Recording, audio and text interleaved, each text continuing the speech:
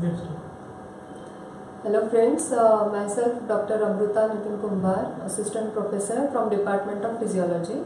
Today I will be uh, delivering a lecture on space physiology. So we'll see how in space the astronaut give, uh, undergoes the various physiological changes.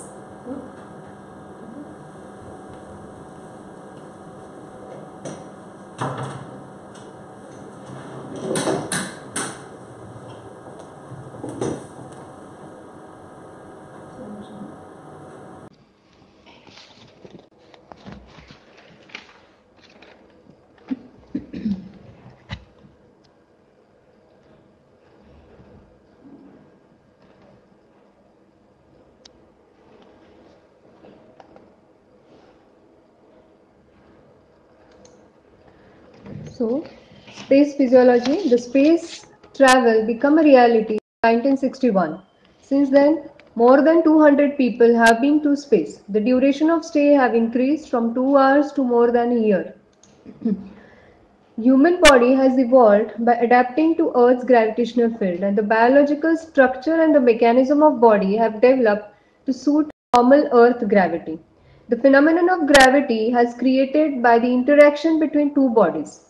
The force of gravity increases as the size of the two bodies increases and or the distance between them decreases. The gravitational force that acts on the human beings at Earth's surface is the result of interaction between the Earth and the human body. As Earth is more massive, it pulls the body towards the center of gravity. Now this is called as gravity. The mass is the total amount of the matter in an object while the weight is the product of the acceleration due to gravity and the mass. Thus, if we assume a mathematical formula, weight is equal to mass into gravity. When in Earth orbit, astronauts' body is still acted on by gravity, but much more weakly because of the distance. In addition, the speed acquired by the spacecraft to send an astronaut into space partially counteracts the gravitational force that continues to act in on the spacecraft as well. This is a law of inertia. This gravity disappears and the astronaut's body becomes weightless. Now this weightlessness, now the state of near zero gravity force which is sometimes we call it as a microgravity. Here the gravity acts on both the spacecraft and the person at the same time so that both are pulled with exactly the same acceleratory forces and in the same direction. So the person simply is not attracted towards any specific wall of the spacecraft. The person simply floats inside its chamber. Now that is what why a person floats in a space. See, uh, uh, an astronaut is in a free fall when orbiting Earth. The reason astronaut floats inside the spacecraft is that he or she is falling at the same speed as it is. This phenomenon of floating is caused by free fall can also take place on Earth. For example, if we see an a person who is in an elevator that suddenly breaks free and falls from 30th floor of a building, the person inside who would be falling at the same speed as the elevator would float inside the elevator. Now, effect of acceleratory forces on the body in aviation because of the rapid changes in the velocity and direction of the motion in airplane and the spacecraft Several types of acceleratory forces affect the body during the flight. Say at the beginning of the flight, the acceleration which is faced by a person is a simple linear acceleration while at the end of the flight acceleration is a deceleration. Every time the vehicle gets a turns the acceleration is faced is we call it as a centrifugal acceleration. So each type of acceleration has an effect on the aviator. So first we'll look at the centrifugal acceleratory force. Now when an aeroplane makes a turn, the force of centrifugal acceleration is determined by the following relation. That is force is equal to m into v square upon r.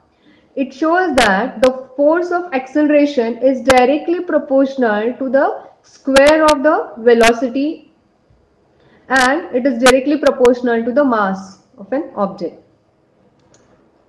Now measurement of the acceleratory force. When an aviator is sitting in his seat, the force with which he is pressing against the seat results from the pull of a gravity and is equal to his weight. the intensity of the force is 1g as it's equal to the pull of the gravity. If the airplane goes through an outside loop so that the person is held down by his seatbelt, the negative gravity is applied to his body. Now effect of this centrifugal acceleratory force on the body that is positive G.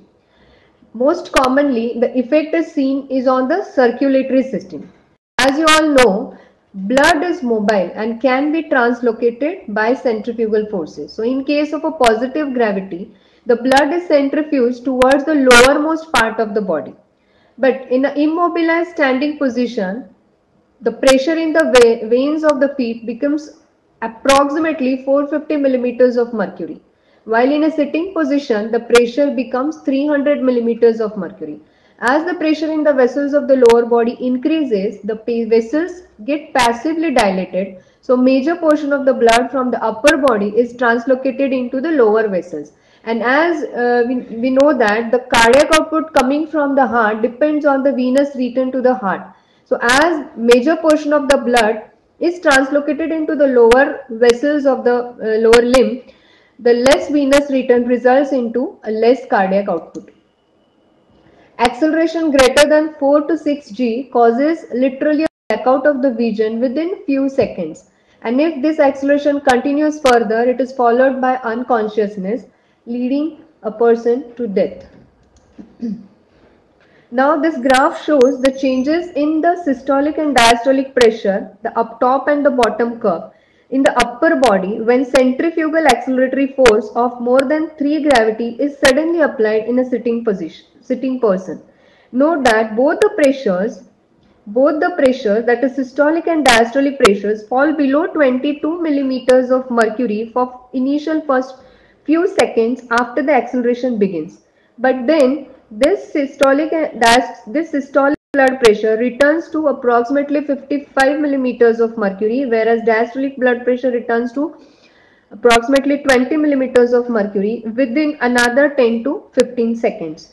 This secondary recovery is caused by activation of baroreceptor reflex. Now, talking about the negative gravity. The effect, effect of a negative gravity on the body are less dramatic acutely, but they are more damaging permanently as compared to the effect of positive gravity.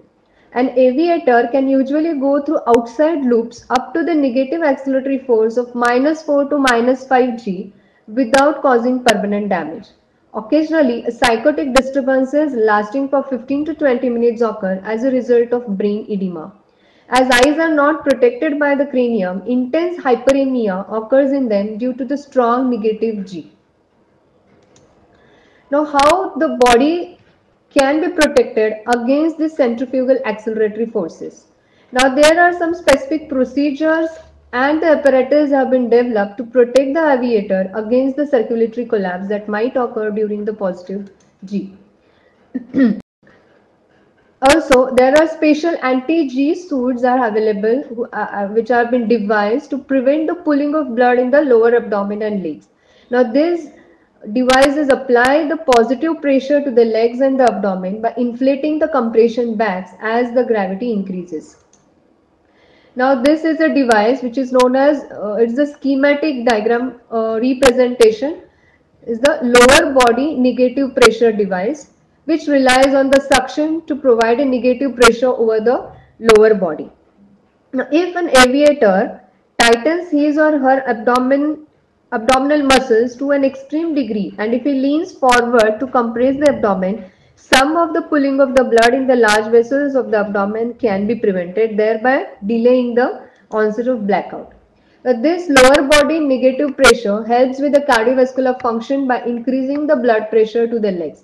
When it includes a treadmill also, it helps with the muscles by allowing astronaut to exercise more efficiently.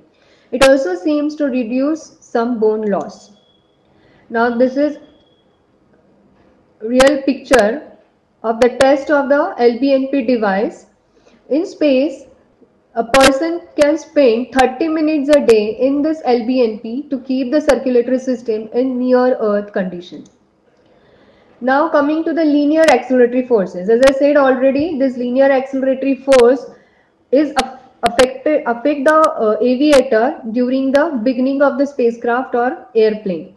So, unlike an airplane, the spacecraft cannot make rapid turns. Therefore, the centrifugal acceleration is little, but the linear acceleration is bit more. However, the blast of acceleration and landing deceleration can be tremendous. Both of these are types of linear acceleration. One is positive and the other is negative. Now, if you see this figure or graph shows approximate profile of acceleration during the blast off in a three-stage spacecraft. The first stage booster causes acceleration as high as 9g, whereas the second stage booster as high as 8g. Now, physiological problems faced by an aviator is the weightlessness or uh, most commonly used term is a microgravity. Now they are related to the three effects of the weightlessness. The first is the motion sickness during the first few days of the travel. Then translocation of the fluid within the body because of failure of gravity to cause a normal hydrostatic pressure. And uh, last third is the diminished physical activity because no strength of muscle contraction is required to oppose the force of gravity. So on earth, gravity pulls on blood causing it to pull in the leg. So this is a uh, image on a ground where there is a gravity of 1 g. But in the microgravity, blood shifts from the legs to the chest and the head, causing the legs to shrink. Now you can see this in the image. It is the initial stage in the space where we can see legs shrinking in size and this is caused this is called as a fluid shift. After adapted to microgravity, the fluid again get redistributed and then immediately after return from the space, now you can see again the person comes to a normal state. Now in microgravity, if you'll observe, the face feels full because of the shift of the fluid into the upper part of the body, especially the chest and the head. We can see the face feels full and the sinuses will feel congested and one may get a headache. You feel the same way on the earth when you bend over or stand upside down because the blood rushes to your head. Now this is an image uh, of an astronaut. The first is on the earth while in the space you can observe the face we call it as a puffy face. now weightlessness looks fun but it places demands on the body. Initially one feels nauseated, dizzy and disoriented because of the fluid shift and the congestion which is occurring in the upper part of the body as well as in the head. Your head and sinuses as well and legs shrink. So we call it as a puffy face bird leg look and in long term the muscles weaken and bones become brittle because no more muscle contraction needed to act against the gravity. Now this is a space adaptation syndrome. We call it as a space sickness. Is caused by conflicting information that the brain receives from the eyes and the vestibular organ in the inner ear.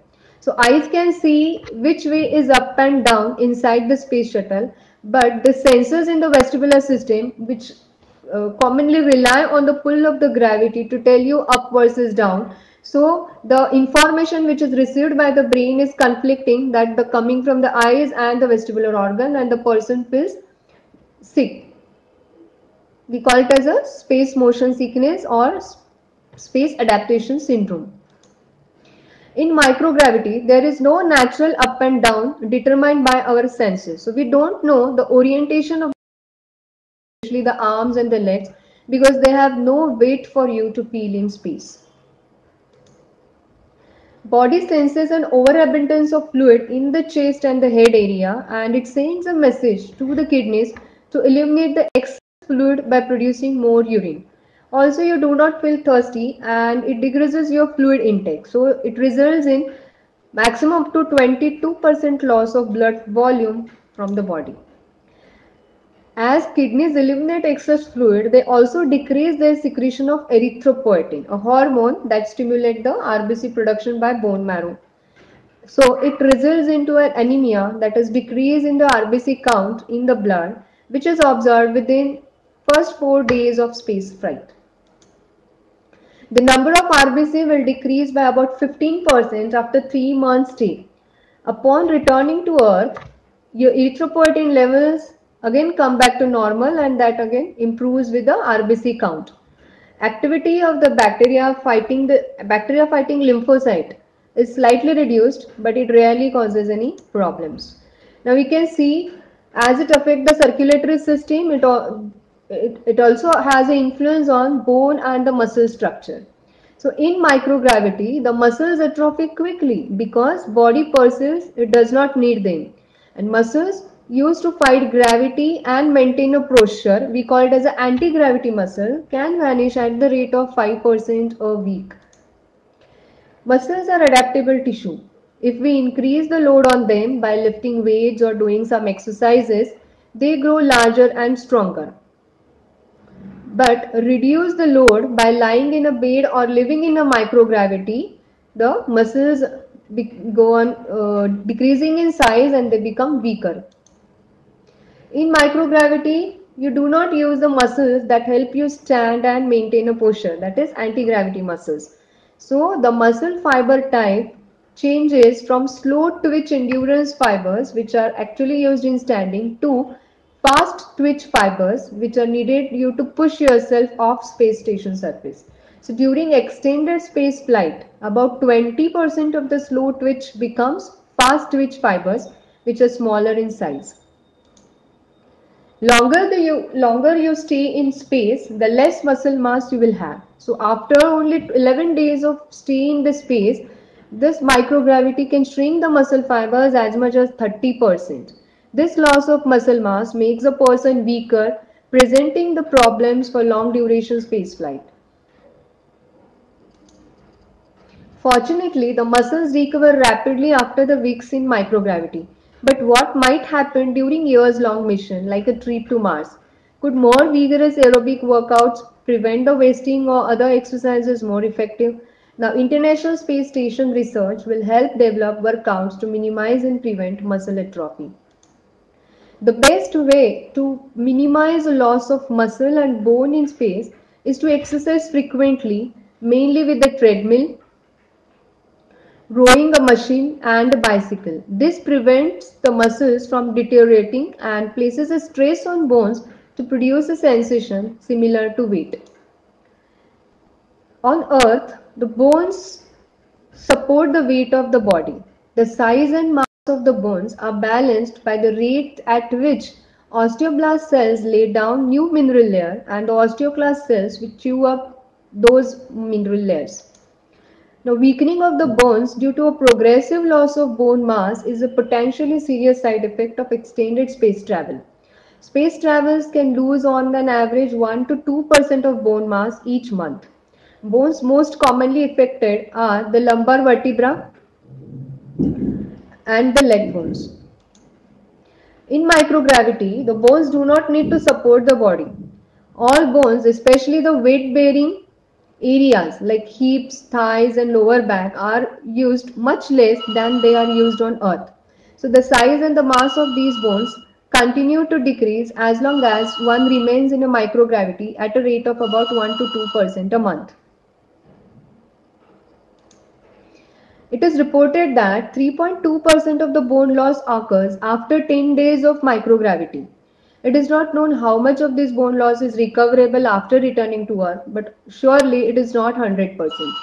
These changes in bones may limit the duration of spaceflight. Right here on Earth, millions suffer from osteoporosis. Solving the problem in space is likely to bring welcome relief back to home. Now, as we have an effect because of the microgravity, in space, the person gets affected by radiation as well. So the risk of space radiation exists in outer space. The space vehicle must have walls of a sufficient thickness, especially during solar flares. Astronaut must also limit their extravehicular activity during high solar activity. Now, prolonged space radiation exposure can have a wide-ranging effect on the body, especially Radiation ionizes the molecules in the body and cause damage to the DNA, leading to mutations and further risk of cancer. Among the potential risks are detrimental effects to the central nervous system, tissues of the heart, eyes and digestive tract. It can also lead to the sterility, development of cataract, neurological damage and the risk of cancer. Astronauts are exposed to more radiation than we encounter on Earth, but years or decades might pass before the appearance of a tumor. Years after exposure to space radiation, many astronauts develop a cataract, that is clouding of the lens in the eye. At least 39 former astronauts suffer from some form of cataract which appeared as early as 4 years or as late as 10 years after their space flight. Now space travelers sleep poor in space. They sleep on an average 2 hours less a night than they do on Earth. In low Earth orbit, the sun rises and sets every 90 minutes, which adds on to their sleeplessness. This can disturb the circadian rhythm that ensure a good night's sleep. Viral shedding is a huge problem in the space. Humans have many viruses in their body which are kept in latent by our immune system, but in, in space flight, as it is a very stressful event, these latent viruses oftenly get activated and this make the astro this can make the astronaut susceptible to viral infections. Now effect on reproductive system. For female astronauts, the gravity assists in the menstruation process by pulling the uterine lining blood out during her menstrual period. In microgravity, this pull is not there. So, in long space flight, this can cause problems like clotting, toxic shock and bleeding into rather than away from the uterus. What are the countermeasures? Considerable research has been directed towards developing the countermeasures in addition to exercise to prevent or attenuate these changes. For example, application of intermittent artificial gravity caused by short periods of centrifugal acceleration, that is one hour each day, while they sit in a specially designed short arm centrifuges that create forces up to 2 to 3 G. So this can help the astronauts to reduce their stress of microgravity as well.